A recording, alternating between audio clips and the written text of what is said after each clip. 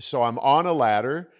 I have the long box in a very awkward position. The next thing I hear is the garage door opening. Boom. And I'm like, oh no, there's no way out of this because of the position I was in. So I look to my left and I catch eyes with my son who's in the car and he's looking at me like, oh shit. And the garage door hit the box, knocked me down. There was a spin bike next to me.